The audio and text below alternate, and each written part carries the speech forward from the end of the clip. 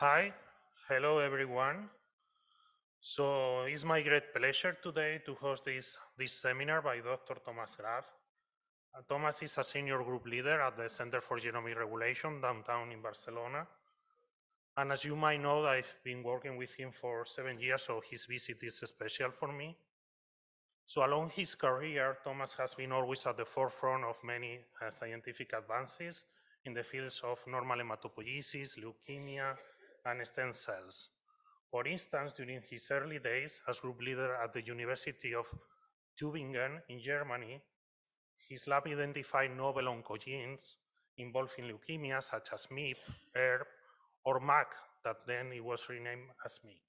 He also contributed to establish the concept of oncogene cooperativity by discovering that at least two oncogenes are needed to uh, get a leukemia.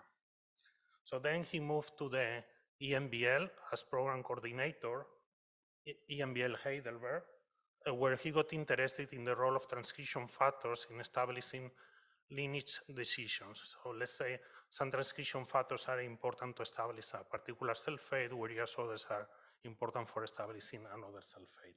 So from the knowledge that he got with these kind of um, discoveries, he was able to determine later that particular transcription factors are able to change fates.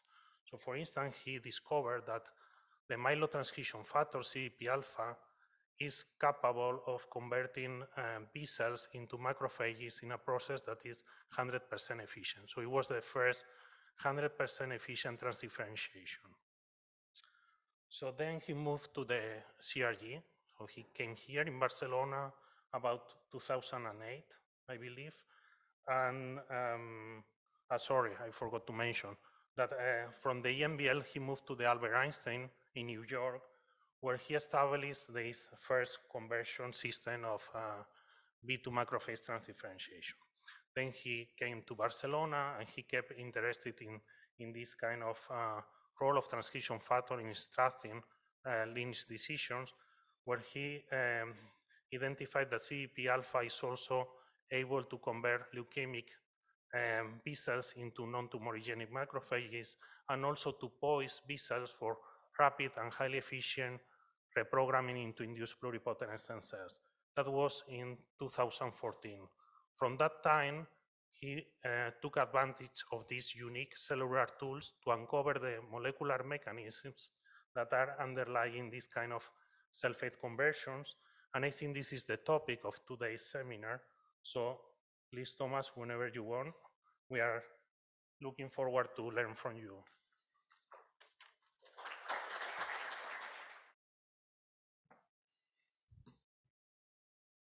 Hello, everybody. I'm very happy to be here uh, to see many of my old colleagues and friends, and also some of the colleagues whose work I've followed for some years. Uh, and of course, uh, there's many links between the work that we are doing on differentiation and, and the formation of, of leukemia in particular. So let me start by uh, showing you my first slide. Um, now, let's see how that works. Yeah. So basically, the, the question that we have been interested in for, for the last uh, 20 years or so is, is how do stem or progenitor cells decide what to become? Uh, so what's the me molecular mechanisms of cell fate decisions? Um, and to introduce this topic, it's very useful to, to show the uh, famous epigenetic landscape uh, uh, formulated by Waddington, where a stem cell sits on top of a uh, of this uh, structure here, of this uh, mountain, rolls down in the channels, and at dif different bifurcation points, uh, it makes a decision to become one cell type or another um, through intermediates uh, reaching these different types of differentiated cells at the, at the, in these valleys uh, at the bottom.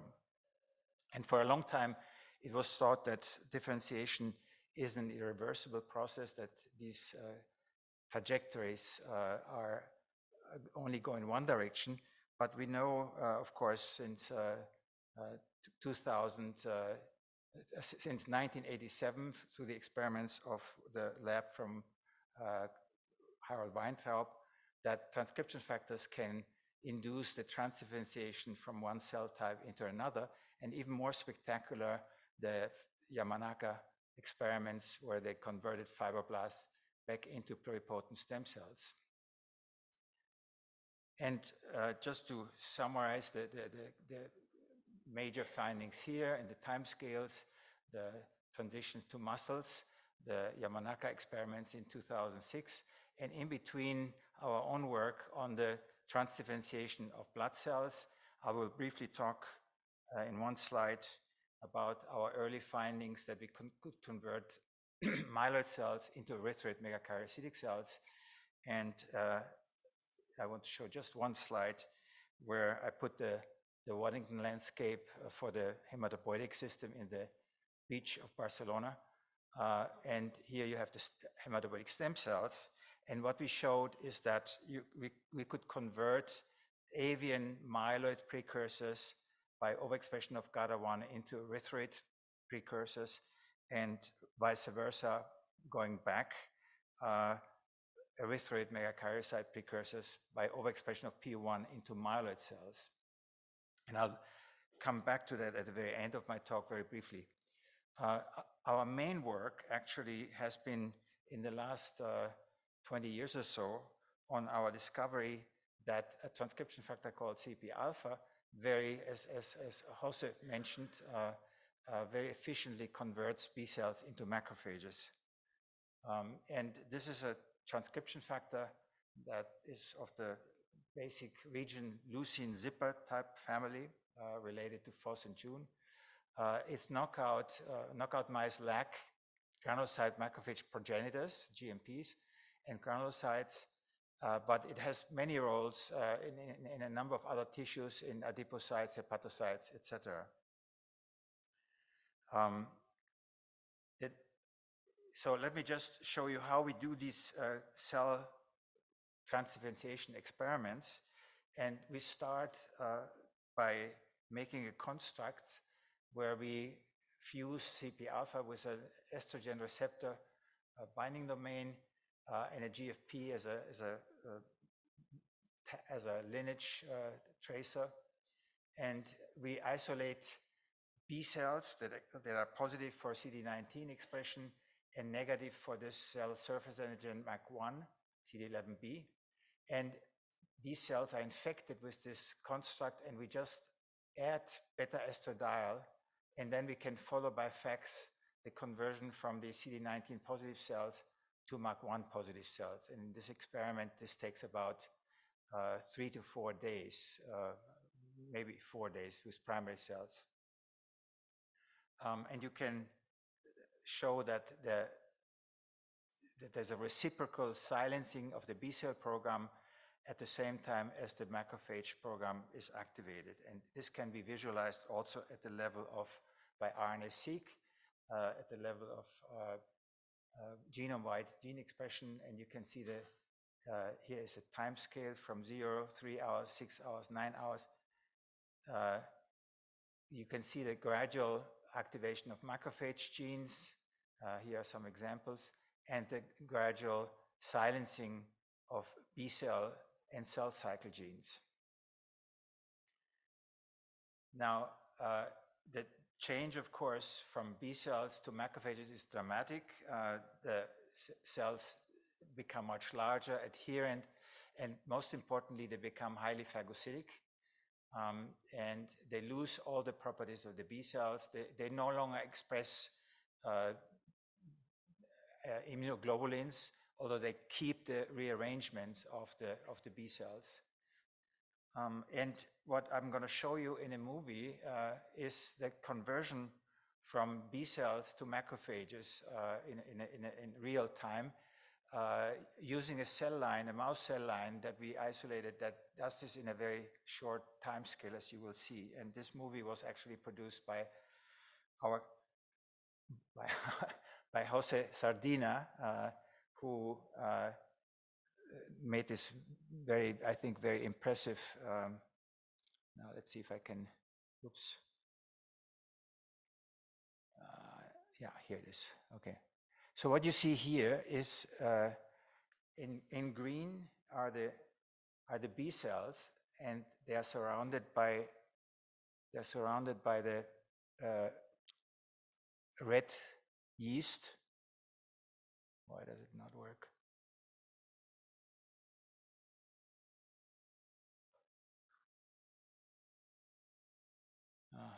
Doesn't work. Okay, so what you see, maybe we can turn off the light.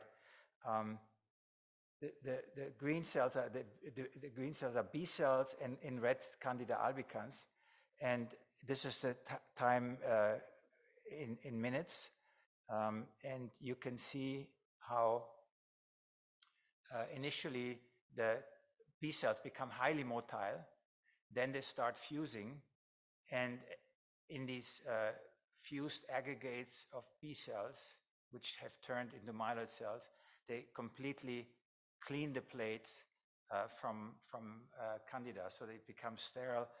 Uh, and this takes only uh, about two days, um, 50, 51 hours in this movie.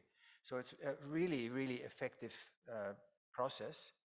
And this allows then to study at the biochemical level what is, what is happening. And uh, of course, the transition involves the loss of a B cell regulatory network, um, which regulates all the B cell markers, um, to one which is specific for macrophages. And I've only shown here uh, that uh, C/EBP alpha together with PU1 is the key module that regulates macrophage genes. And what is uh, what I also would like to point out that there is one of these two uh, uh, partners in this complex, namely PU1, which is already expressed in B, uh, in B cells. And this will become very important for my talk later on. So what we have been studying is the mechanism of how B cells turn into macrophages. And we have studied in particular one aspect, namely the regulation of the speed of this process. How fast does it, does it work? Now, before I do that, uh, let me quickly say that uh, during this transdifferentiation from, from B cells to macrophages, uh, the cells actually uh, don't go completely direct from one cell type to another. They make this little loop via cells that are GMP-like before they turn into macrophages. And of course, uh, what you see is the combination of endogenous PU1 with C/EBP alpha, which generates first GMPs and then macrophages that have, again, uh, both of these transcription factors expressed. And this actually mimics what is seen during normal differentiation, where during the formation of GMPs, uh, endogenous C/EBP alpha becomes activated, combines with PU1, and generates these mature myeloid cells. Um, I also want to quickly show you that uh, in cells that do not express PU1, we can induce macrophage-like cells. In this case, however, um, we, we need to combine uh, exogenous C/EBP alpha with exogenous PU1. And you can see here the increase in MAC1 expression uh, as the cells turn into macrophage-like cells. PU1 alone has a weak effect, and C/EBP alpha alone has no effect. Uh, I introduced this because this I will show you an application of this uh, method later on. So uh, another another thing which which is important to know is that part of the mechanism is that C/EBP alpha binds to enhancers that are already primed by PU1 and B cells. So uh, you can see this here. This is a, a time uh, scale uh, in cells that are induced for 10 minutes, 30 minutes, 60 minutes, uh, up to 48 hours in, in an inducible cell line. And you can see at this site, this is a ChIP, sequencing experiment, uh, C/EBP alpha binds to a site which is already primed by PU1. Um, and then there's another mechanism where C/EBP alpha acts as a pioneer factor and it binds first to sites which later become occupied by PU1. And the uh, expression of genes that are associated with the, these two types of enhancers uh, differs. Uh, the ones that are primed already start with some expression levels and then become uh, uh, much uh, enhanced. And the, the ones which enhancers which are activated by a pioneering mechanism start at much lower levels and then reach high levels. So here's the, now the, the, main story that I want to talk about. It's not yet published. Uh, what we found is that a, a, single point mutation in C/EBP alpha uh, modulates the speed of B cell to macrophage transdifferentiation. And this uh, has helped us to illuminate how, how the process works.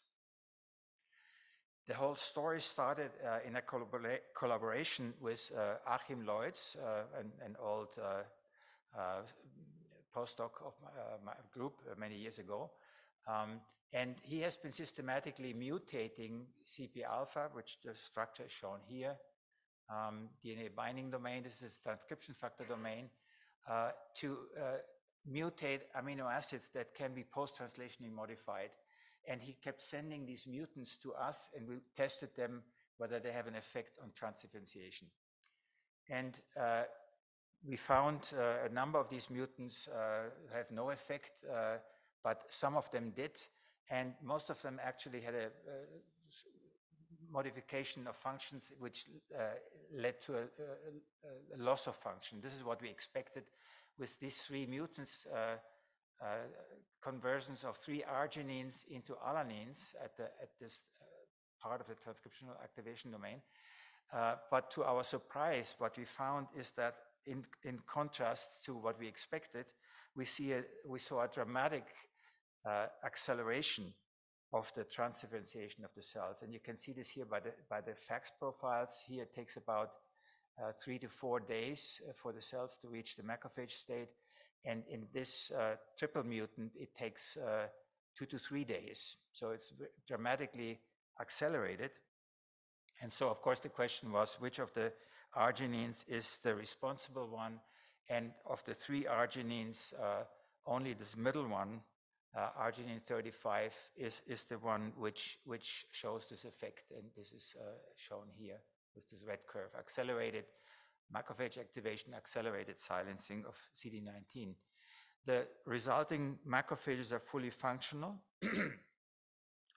and uh, when we, when we uh, analyze the cells uh, by RNA-seq at different times after induction, zero hour, one hour, three hour, six hour, up to 120 hours, um, one can identify clusters like this one here which is uh, uh, which has is associated with with macrophage genes, where you can see that with the mutant within one hour you can see the activation of these genes, whereas it takes about 18 hours for the wild type to activate these genes. And of course, this, uh, this cluster correlates with uh, macrophage functions in GO analysis. And then there are there's another cluster where the opposite happens. Silencing is much faster with a mutant from activated genes in B cells to cells that uh, to, to genes that become inactivated within one hour, and a, a process which takes much longer with the wild type. And uh, here are the B cell genes and the associated GO terms. And you can also visualize this uh, difference by a PCA analysis. You can see that the mutant cells uh, re reach uh, the state that the wild type cells stage within 18 hours. The mutant cells are already there within one hour. And then at, at the final type, time point, uh, the, the wild type and the mutant cells converge.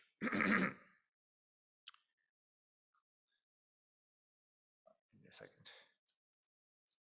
And this can be also uh, visualized uh, genome-wide uh, for the clusters of genes that become activated, two different clusters, and uh, cluster of genes that become inactivated.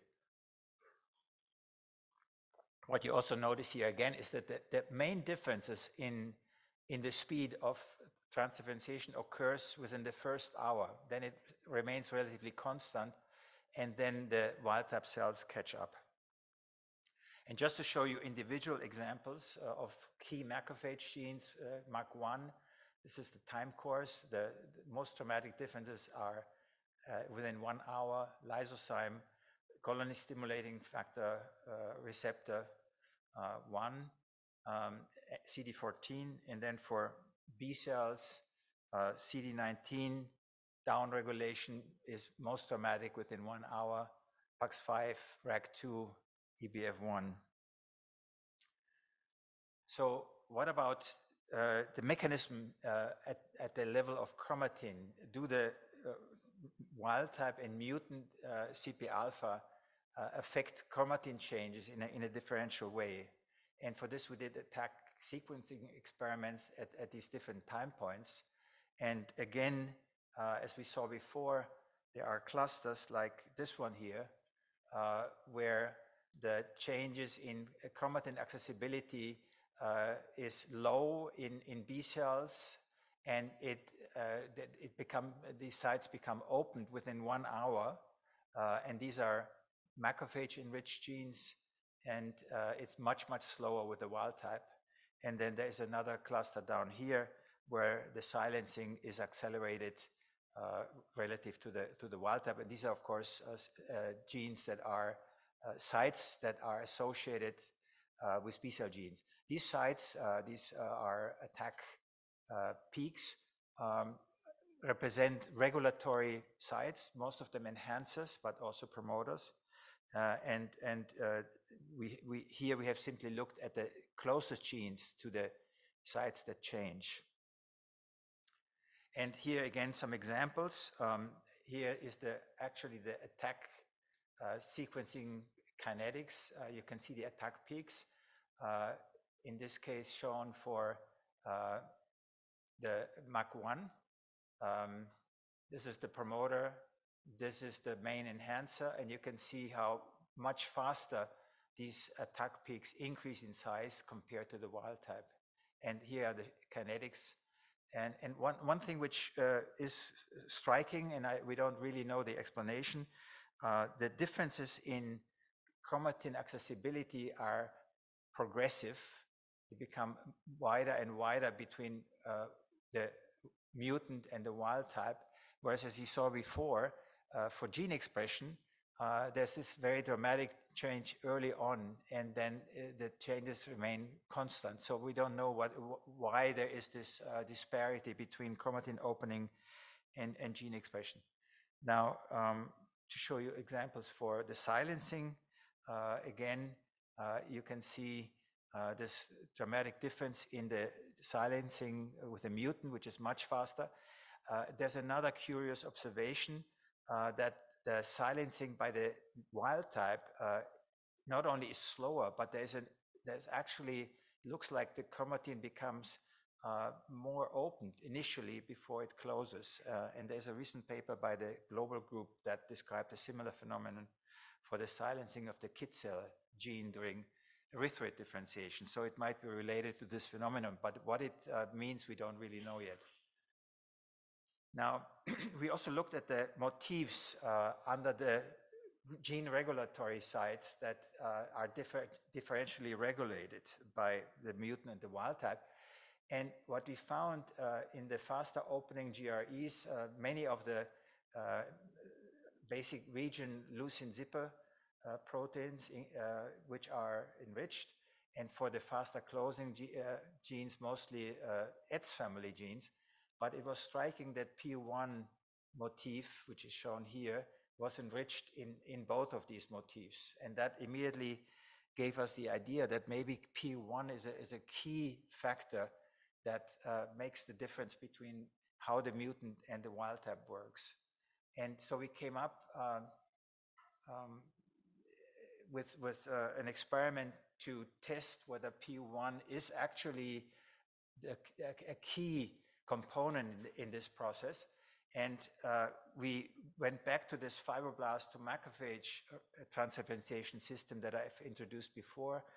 um, which is summarized here, uh, and where we could find that actually, as we had hoped for, is that the activation of MAC1 of the myeloid program uh, is much more dramatic uh, for uh, for the mutant uh, C/EBP alpha in combination with MAC1 compared to the wild type uh, with with PU1. So so so even in this system, uh, PU1 uh, seems to be playing a very important role, and uh, this immediately suggested that maybe PU1 selectively speeds up the chromatin opening induced by C/EBP alpha uh, mutant.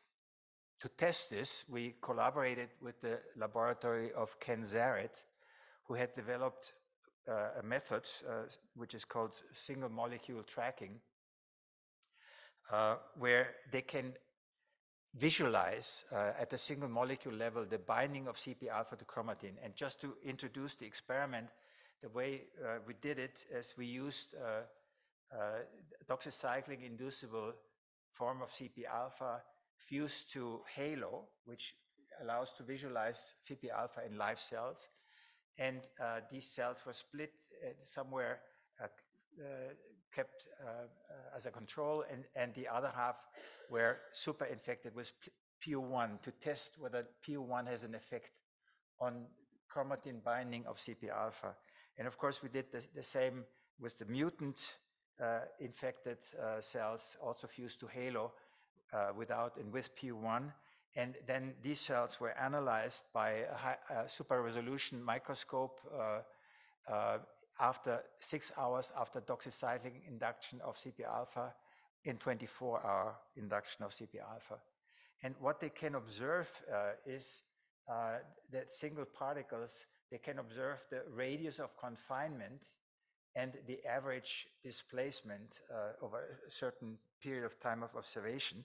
So if the radius of confinement uh, is, is uh, sorry, uh, is, is small, this indicates that the particle moves very little bound to chromatin, moves very little, so it's in closed chromatin.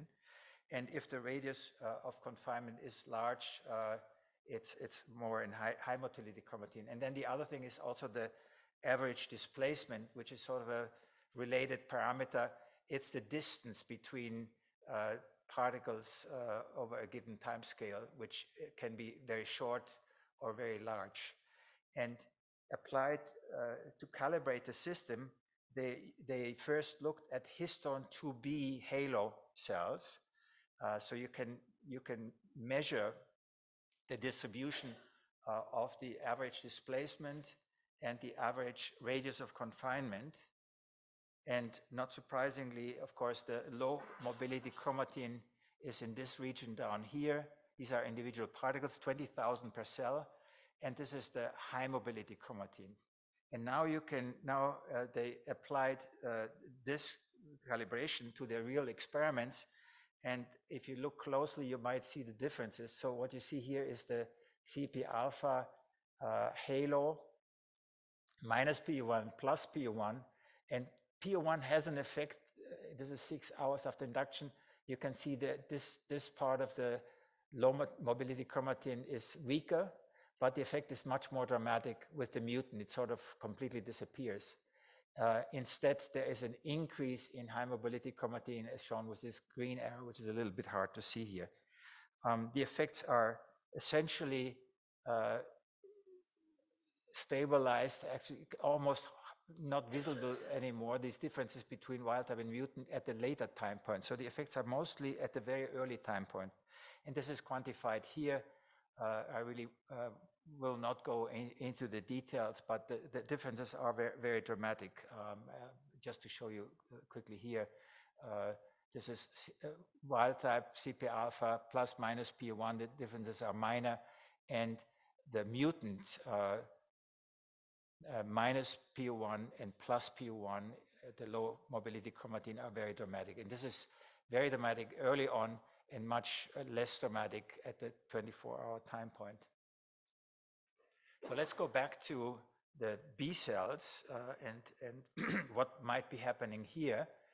Um, and um, we came up with the idea that actually uh, PU1 might be uh, playing a role sort of as a, a, link between B cells and macrophages uh, in that it may be uh, differentially uh, removed by PU1 from the B cell regulatory sites uh, and in a way sort of relocated uh, by a theft mechanism to macrophage gene regulatory elements. So that in macrophages uh, the B cell genes are of course downregulated because this element has collapsed and the, the macrophage uh, uh, specific GREs become activated and, and this leads to the macrophage gene upregulation.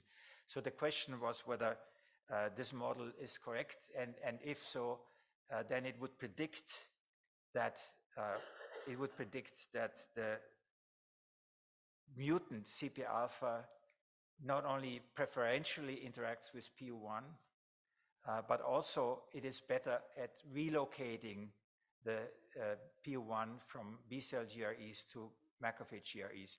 Now I can tell you that our data that you will see from now on actually very strongly support this model.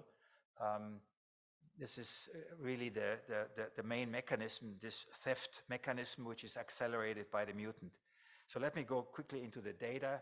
Uh, the first thing which we did is to look at the interaction of mutant uh, C/EBP alpha uh, with other proteins uh, in B cells that where we have activated the mutant. And uh, what we have compared here, uh, and we have done a mass spec analysis in collaboration with, with Achim uh, using a technique which is called BioID, which I won't go into detail, but it's, it's, it's probably the, the most sophisticated mass spec analysis to identify specific interactors.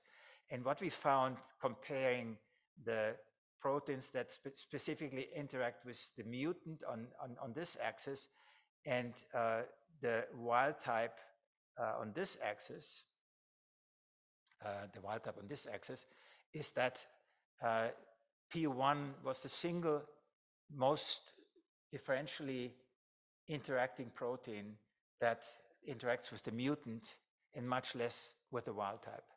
Um, and uh, there were two others, uh, which, which are, however, the, the interaction is, is not significant. Um, what you can also see is that there is a slight uh, skewing of most of the uh, interactors towards the wild type side. And this is because the, the wild type is actually expressed at highly, slightly higher levels than the mutant. And this is important because one of the obvious mechanism that we initially thought is that the mutant uh, protein is simply stabilized and therefore more active. But that's not the case. It's expressed at slightly lower levels. So uh, we also uh, studied the interaction between C/EBP alpha and PU1 uh, in live cells, which, was a proximity ligation assay. I, won't go into details how this works. Uh, uh, basically, you detect the proximity of antibodies uh, against C/EBP alpha and PU1.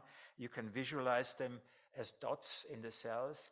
And what we saw is that there is uh, a higher interaction between the mutant and PU1 with this assay. What other experiments can we do to, to test the theft hypothesis? And so here what we did is we performed C/EBP alpha PU1 ChIP experiments with B cells that were induced for three hours to activate either wild type or mutant C/EBP alpha. And these experiments are a little bit complicated, so I'll, I'll go through slowly. And, and if somebody doesn't understand them, you're very welcome to interrupt me and, and, and ask me.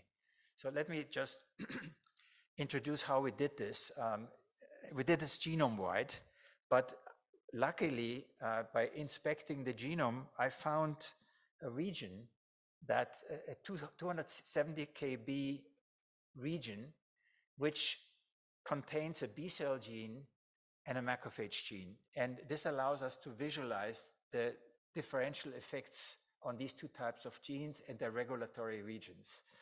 Um, now, uh, let me show you the, the expression, gene expression differences of this BCL gene uh, for the mutant uh, and for the wild type. So remember what we saw before.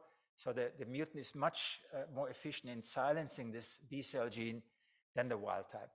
And conversely, uh, the, this ma macrophage gene that I've never heard before uh, is also activated much more rapidly by the mutant than by the wild type. Now, if we do the, uh, if we look at the binding of PU1 in B cells, and this is from published data, uh, what we what we found is that there are four sites that are specifically bound in B cells, which we call uh, B cell GREs, which are not bound uh, by PU1 in macrophages, or much less. These four sites here in red. And then if we look at the sites that are bound by C/EBP alpha in macrophages, C/EBP alpha is not expressed in B cells. So C/EBP alpha in macrophages, we see that it doesn't bind to the B cell GREs, but it binds uh, to the macrophage GREs. And so now we can use our experimental data and look what happens when we overexpress wild type and mutant C/EBP alpha. Uh, and and we, we look at this locus. And so we first look at PU1, and you can see that PU1 is bound much more uh, in the wild type cells at these four B cell GREs than the mutant. The mutant is basically doesn't bind there anymore.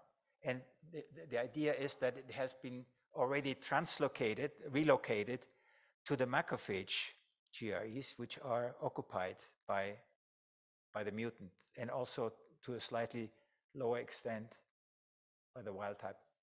And very similar results uh, can be seen when we look at the C/EBP alpha binding profiles.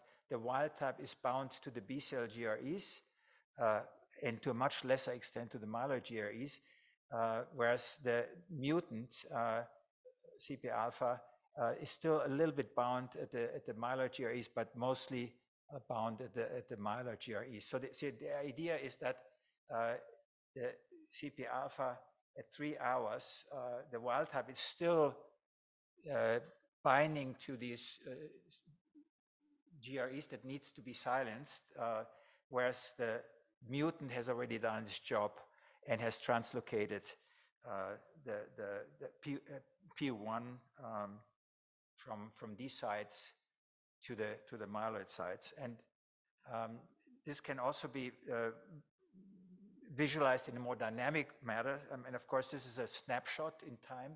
But what we have is we have these uh, dynamic ATAC sequencing data. So we can superimpose, integrate these data with the ATAC data. And here the kinetics of the ATAC peaks at these different sites, which I call here enhancers.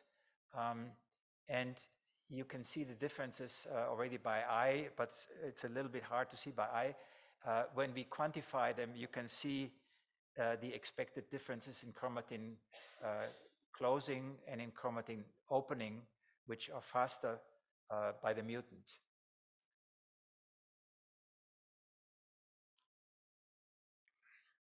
Now, we have also done this uh, analysis genome-wide and I won't go into, into any detail, just to say uh, we have uh, simply looked for sites genome-wide that are bound less by PU1 in C/EBP alpha uh, mutant cells, and we can we can see as expected that these sites uh, show an accelerated silencing uh, of chromatin closing in this case, and uh, compared to the mutant, and sites that are bound more by PU1 uh, show an accelerated uh, opening. So these data and, and, and many more data strongly su uh, support this, uh, the, the, the theft model. I also want to point out that the findings that we made uh, can be seen in a different way, um, namely that PU1 acts sort of as a relay between these two cell types, uh, which can be in an on position for B cell genes or in an on position for macrophage genes. And that C/EBP alpha that comes in the switch that pushes this relay into the other position. And this is a mechanism where PU1 couples the two gene expression programs and that during transdifferentiation you generate the faithful uh, de novo uh, de novo expression of the macrophage gene regulatory network. Because of course uh, if, if, if these two things are not coordinated, you might get cells where the uh, cells express the macrophage program, but haven't silenced the, the B cell program. Of course, this would not be a real macrophage. This would be a confused cells, right? But this doesn't happen during transdifferentiation. And so we believe that the reason why this doesn't happen is that because through this mechanism where PU1 acts as a relay, uh, these two processes are, are coupled. So uh, to the last part of my talk, what enzyme methylates arginine 35? It, of the different types of uh, arginine methylases uh, uh, that induce asymmetric dimethylation, which we knew was, was the, the type of methylation of arginine 35. Only one of these enzymes, PRMT4 or CARM1, uh, does the job. Um, and it's very specifically, if we, if we, uh, if, if uh, they do an analysis of peptides where they take C/EBP alpha apart so that the 20 arginines of C/EBP alpha are in different peptides, the only peptide that becomes uh, methylated with CARM1 is this one which contains 35A, 35, arginine 35, which is really surprising because uh, you know, it's a single, it's a single amino acid that has such a dramatic effect. Um, a prediction of if CARM1 is the key enzyme is that you, you should be able to, by gain of function and loss of function experiments, to modulate the speed of transdifferentiation. And for this, we use the, the human B-cell leukemia model, uh, where we either uh, overexpress CARM1, and this leads to a, a to a decrease in the speed of macrophage upregulation and the down downregulation of CD19. So it's, it slows down the process. And if we inhibit CARM1, then it activates the process. And we believe this uh, is because it, of course, it leads to the uh, to the methylation and uh, unmethylation of this critical R35A resi residue in, in CARM1. The other prediction, if it's really only R35, is that th these perturbation experiments with CARM1, they should not work anymore in the background of the mutant cells. And this is exactly what we found. So if you, if you use uh, these uh, human B cell uh, uh cells that can be induced to transdifferentiate, now uh, with, with, the, with the mutant, then the CARM1 perturbation have no, no longer have an effect because it, it, cannot, this residue cannot be methylated. Okay, so uh, let me then summarize this. Um, the sequential steps during B cell to uh, macrophage transdifferentiation. So the first thing that happens, C/EBP alpha comes in, um, then uh, gets methylated uh, when it's wild type. Uh, bound, it becomes, uh, PU1 becomes, uh, uh, sorry, it's bound to uh, PU1, which, which is already occupying the B cell GREs on chromatin. Um, and the PU1 then becomes translocated um, to the macrophage GREs. Um, and of course, during this process, the, silencing of the B cell uh, genes uh, occur and activation of macrophage, macrophage genes occur in this intermediate stage. And then in the end stage, there's a complete silencing of the B cell genes and a strong activation of macrophage genes. And the mutant does exactly the same um, in its unmethylated form, uh, except that, uh, or if CARM1 is inhibited, uh, in, uh, except that it, it, it is, does everything much faster. And it is because it has a higher affinity for PU1. And that's the rate limiting step, which makes all other subsequent steps faster. So this translocation is faster and the opening of myeloid GREs is faster and expression, gene expression is faster. So the very final point of my talk is, um, does CARM1 activity influence the directionality of a cell, cell fate decision? So far, I've only talked about speed, but what about in normal differentiation processes where you have a binary decision to make, a bifurcation? And so we have uh, examined this by uh, looking at uh, GMPs, granulocyte macrophage precursor, that, be, that can become either granulocytes or monocytes. Um, and we have first looked at the level of active CARM1 in these cells. Um, and what we found uh, is that the level are highest in GMPs, then there are uh, intermediate in granulocytes and are lowest in monocytes. And this we did uh, measuring uh, the levels of uh, asymmetrically de demethylated BAF 155 as a substrate of CARM1. Uh, and so, so this would fit with the idea that uh, low levels of CARM1 uh, should bias GMPs to differentiate into monocytes and higher levels of GMPs maybe uh, biases the cells towards granulocytes. For this, to test this, we did colony forming assays with GMPs and looked at the distribution of the colonies uh, with different concentrations of this CARM1 inhibitor TP064.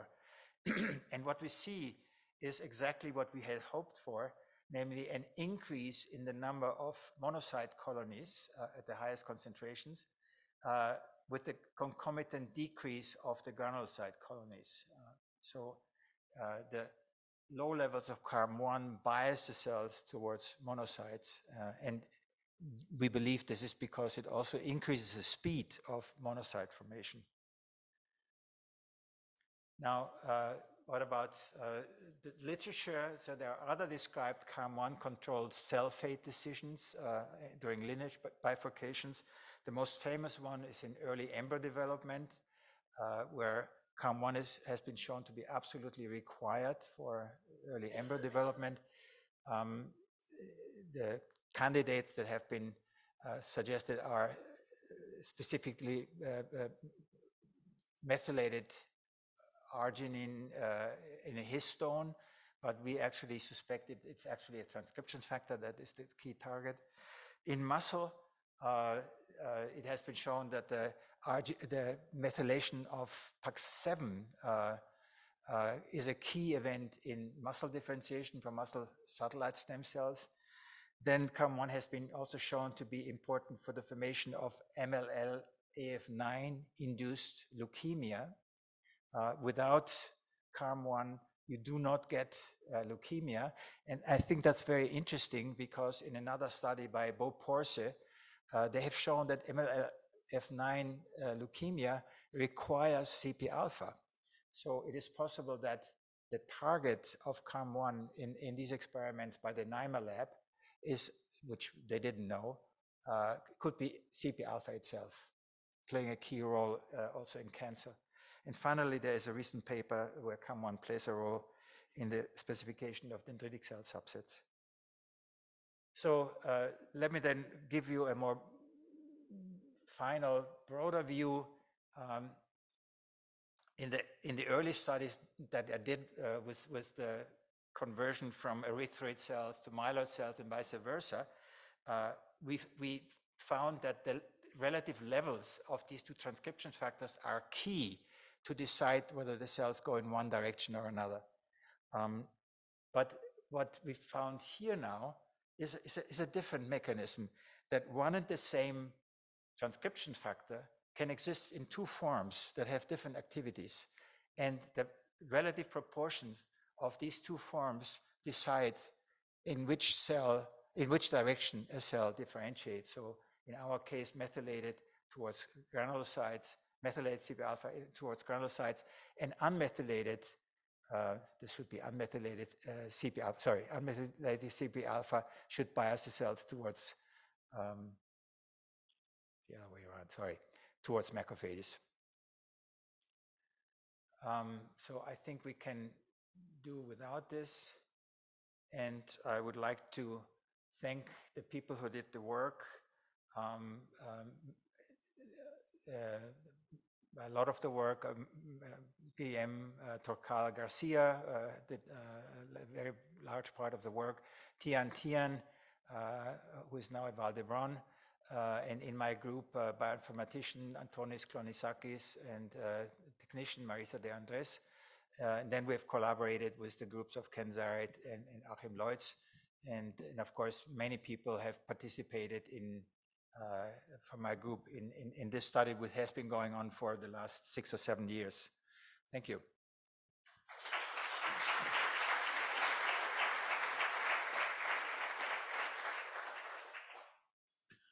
Thank you, Thomas. Really, really nice work. So Let's open the Q&A session. Um, let's start with Maher here. Thank you very much, Thomas, for the great talk. So uh, I like this concept of the confused cells, these intermediate state cells, because now for single cell proteomics, we're starting to see cells that share myeloid and B cell markers sometimes. So do you think that they really exist and the cells are happening there? What are these are intermediate states, or they have their own functions, the cells. Yeah. Uh, so we're starting to see some populations at the single cell that they have intermediate markers of B cells and myeloid cells, a few yeah. populations. Um, I mean, the, the intermediates uh, in, in, the context of leukemia, of course, these are uh, aberrant cells. These are not normals. Yeah, but are they are they stable? or are they intermediates? Because of course, uh, in, in, this transition, uh, you do have cells that express yeah. mixed markers, right? It's actually a hallmark. If you see intermediates that express both at the same time, you know it's transdifferentiation, it's not selection. Mm -hmm. Uh, we've used it early on as a, as a, as a, as a, as a key criteria. So this is a fixed point. We don't know. This is this is leukemias, bone marrow leukemia, and, and and there you see the cells with a few cell types that they have both type of markers. I mean, of course, there's many mechanisms that that in, in, in, these uh, leukemic cells often have accumulated many different mutations. So uh, there are probably mechanisms that that work against each other or in parallel that can create these uh, aberrant phenotypes, which could could be stable. I mean, it, it's quite possible. Thank you.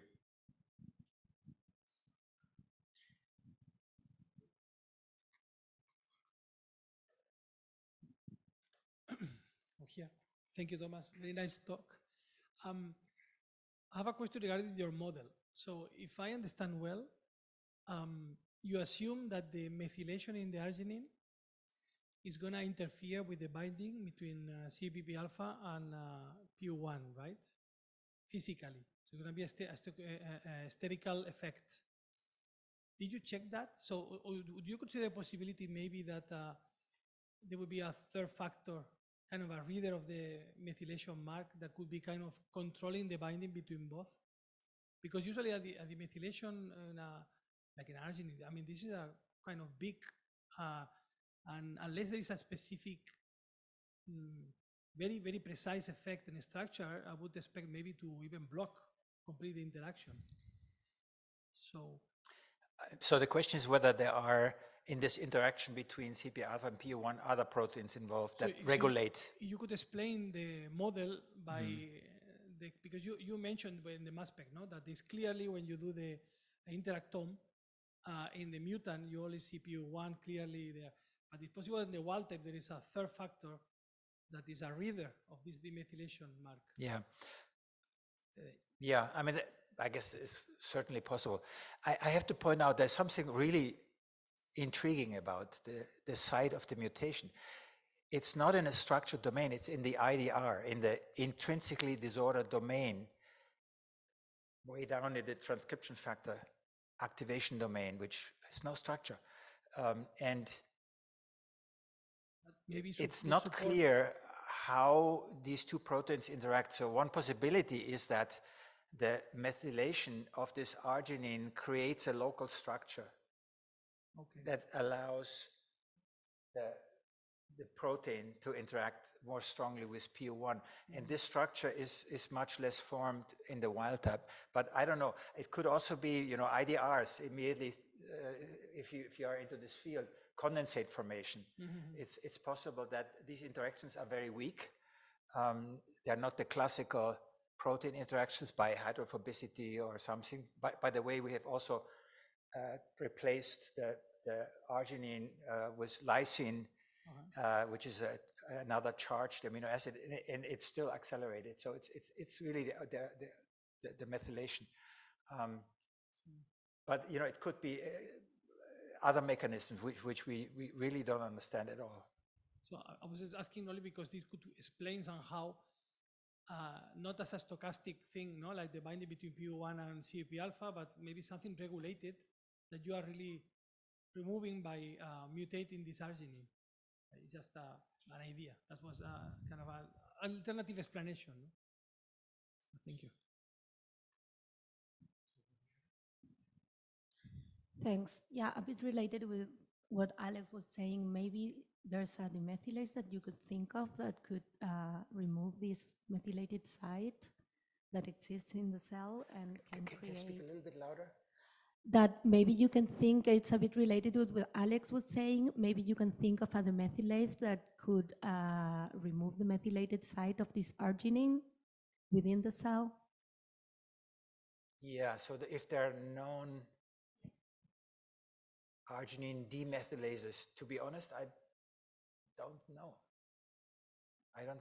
I don't know whether they have been described, but it could be. I don't know. Does anybody know this? Alex? No?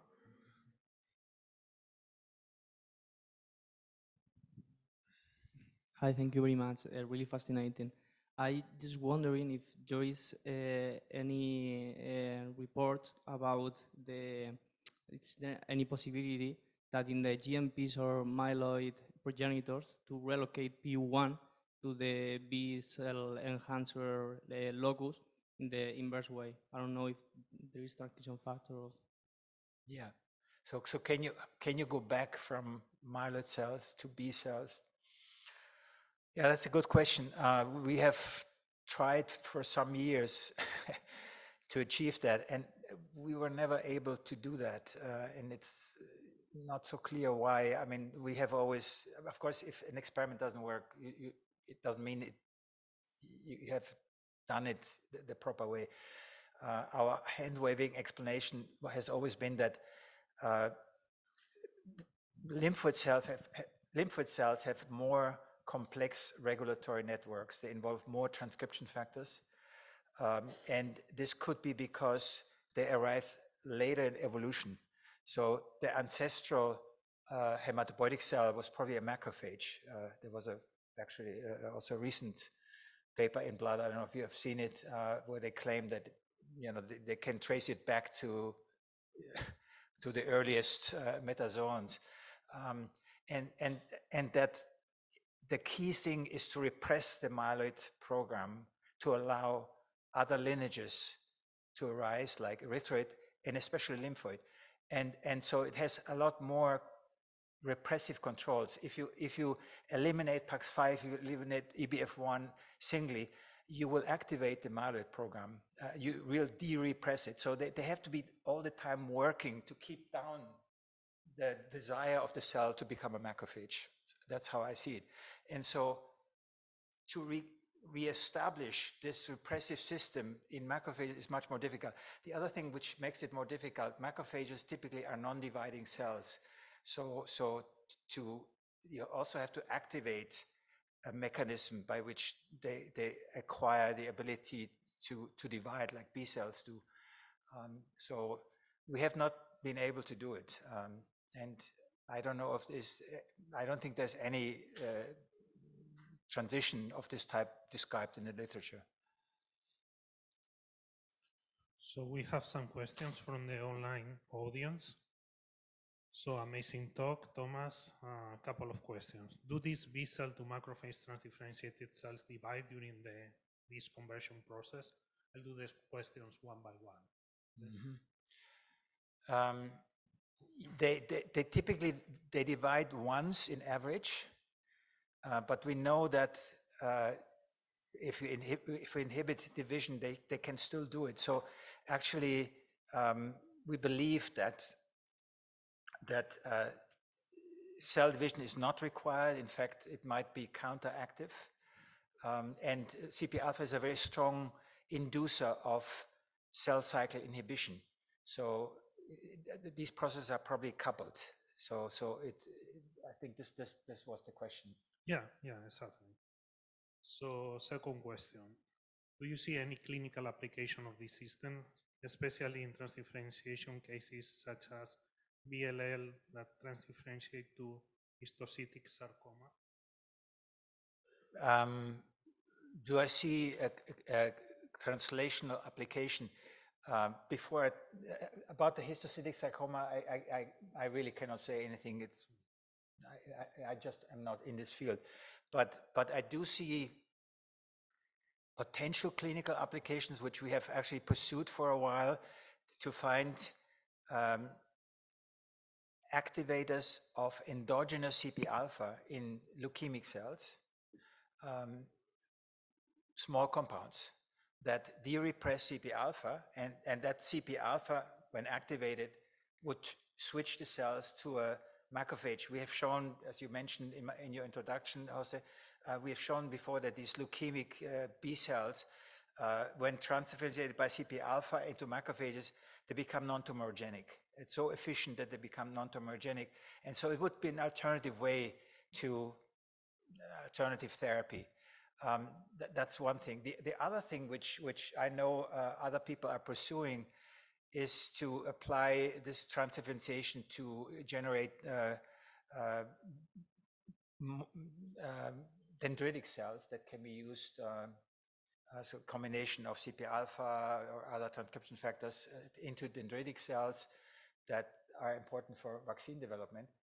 Uh, and and and I know of a, yet another approach is is is to uh, make the cells more susceptible to to immune attack through uh, transdifferentiation. Good. So last question, I don't know if this question is for you or for me, because it says, does C/EBP alpha have an effect in DNA methylation directly where it binds? So is C/EBP alpha binding to the DNA able to induce DNA demethylation? Ah. I should ask you that. um, yes, I mean, actually, you, you have shown it. I mean, uh, this is part of the this very complex process of, of lineage conversions. I- I mean, you, you, whatever you study, something is happening, and and and demethylation is is, is part of it. So, uh, what what Jose showed is that uh, C/EBP alpha can actually mm, at certain sites where it binds, recruit TET2, and TET2 is, is uh, initiating enzymes in the, in the cascade that leads to DNA methylation, demethylation. Uh, so, so it, it, yes, it's probably part of this. What would be interesting to see is whether the mutant uh, does this much more rapidly and efficiently. I would predict yes, because it's downstream. So, yeah. Ah, Tania. That was very, it was very interesting. Um, my question is uh, perhaps linked to this. Uh, I did not quite understand why CB, C/EBP alpha binding to uh, PU1 um, changed the location of the of the the GREs that are bound. Sorry, why? Why uh, the GREs that are bound by uh, C/EBP alpha and PU1 change from uh, in the beginning uh, going from the macrophage ones, uh, going Yeah. from the B cell ones to the macrophage ones. Why, why does the binding specificity change of PU1? Yes, the location. Yeah. Uh, That's a fantastic question. I mean, uh, we would like to know that. Um, It could be that, that the complex between C/EBP alpha and PU1 cause a, conformational change of PU1 so that it alters the, the binding specificity somehow. Um, There's no evidence for that, but, but, but that would be one possibility. Of course, uh, there's, I mean, what, what we're seeing here, we're scraping the, the tip of the iceberg. There's probably many other factors involved. Uh, we also know that for myelospecification, other factors uh, have been described to be important. IRF8, for example, um, they all may play a role, um, which may result in complexes that together uh, then create a different specificity of one of the components. But, but no, we don't really know um, what makes PU1 uh, not like B cell GREs anymore when it is together with C/EBP alpha. And I- I, guess uh, you have already looked at the motifs, and there are no motifs that uh, differentiate the two types of GREs. Uh, you know, as I was saying it, uh, I was thinking about it. I don't, I don't really know. I have to talk to my bioinformatician whether he has looked closely enough, whether whether there can be seen differences in the motifs. Uh, it's possible. I don't know. Okay, thanks. I think for, for a sake of time, we should stop here. Thank you so much.